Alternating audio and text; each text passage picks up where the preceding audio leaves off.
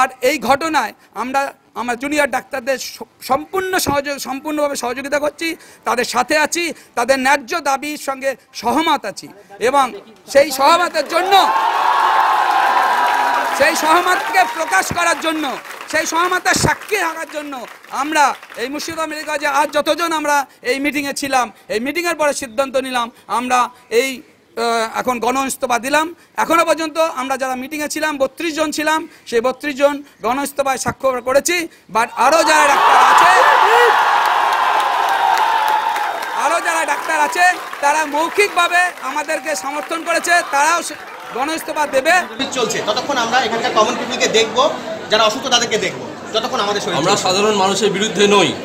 সাধারণ মানুষের পাশে, রোগীদের পাশে আমরা সব সময় আছি। আমরা অবশ্যই চাই মানুষের পরিষেবা দিতে।